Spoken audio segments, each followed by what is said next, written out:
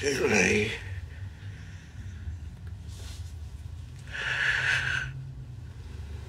My boy. My girl.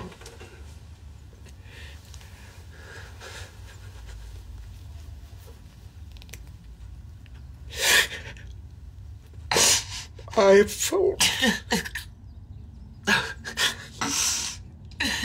That's not your fault.